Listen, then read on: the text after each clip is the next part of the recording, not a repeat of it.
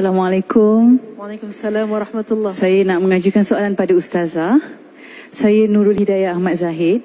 Okey, soalan saya, adakah seorang anak punya hak untuk merajuk dengan seorang ibu kerana seorang anak tu merasakan dirinya dilayan tidak adil, tidak sama rata dengan adik-beradik yang lain. Sebagai contoh kadang-kadang um, mungkin soal pembahagian harta ataupun pembahagian kasih sayang masa ibu tu sendiri kepada anak-anak. Jadi adakah anak, seorang anak punya hak untuk merajuk uh, dengan seorang ibu? Itu soalan saya, Ustazah. Terima kasih. Silakan Ustazah. Baik, Alhamdulillah uh, anak-anak yang dimuliakan Allah Ibu-ibu yang lebih lagi dimuliakan oleh Allah Subhanahu Wa Taala. Soalan ni bagus tau. Adakah hak anak-anak ni ada hak untuk merajuk dengan mak dia. Sebab dia kata mak tak patut. Mak lebihkan kakak tak tak lebihkan saya. Mak lebihkan adik tak lebihkan saya. Eh? Ha, banyaklah mak bagi dia tak bagi saya.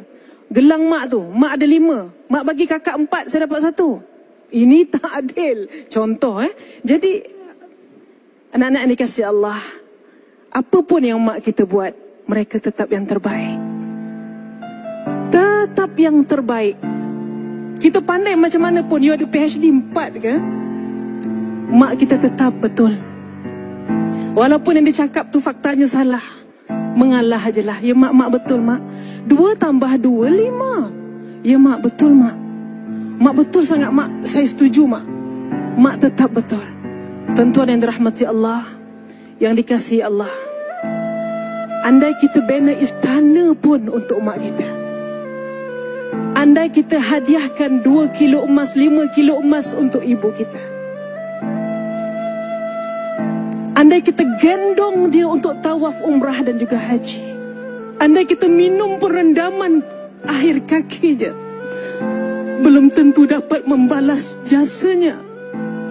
Yang mengeluarkan kita daripada gelap rahim kepada terang dunia ini.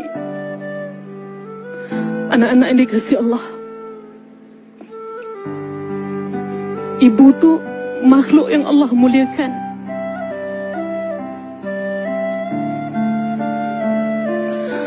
Kasih ibu tidak pernah bertalak.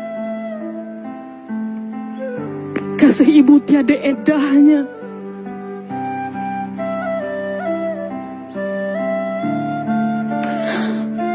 Atas sebab itu, kita tidak ada hak untuk merajuk kepada mereka. Tidak ada hak langsung untuk berdendam dengan mereka. Pohonlah rahmat kerana pada dua tangannya ada tangan keramat yang boleh mendoakan kita. Doanya tiada hijab terus sampai kepada Allah. Kita tak tahu ketika kita sedang lena tidur. Ibu kita bangun, Ya Allah. Kasihani anakku, Ya Allah. Rahmati hidupnya, Ya Allah. Bahagiakan dia ya Allah. Beruntunglah orang yang masih punya ibu yang dapat doa ibunya. Sebab itu tuan-tuan yang mulia, kalau anda masih ada ibu, junjunglah dia. Letaklah dia di tempat yang paling mulia. Andai anda ada ibu mertua, junjunglah dia. Letakkanlah dia di tempat yang mulia. Hatta Rasul sallallahu alaihi wasallam dapat jumpa dengan ibu susunya Halimatus Sa'adiyah dibukakan serbannya, dihamparkan serbannya, minta Halimatus Sa'adiyah duduk di atas serbannya.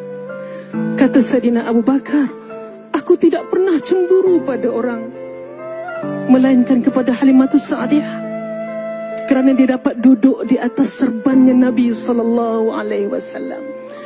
Tuan-tuan, bak kata ustaz, itu ibu susu kalau Rasul ada ibu kandung. Wallahu ta'ala alam. Baiklah hadirin sekalian, insan yang dimuliakan oleh Allah dan Nabi ini juga adalah seorang manusia. Dan sebagai manusia, Allah SWT menjanjikan setiap yang bernyawa pasti akan merasai maut. Apakah amalan yang perlu kita lakukan? Apakah yang terbaik yang perlu kita lakukan? Tak kala ibu berada dekat nazar. Selepas ini dalam tazkirah malam Jumaat, jangan ke mana-mana kita jumpa selepas ini.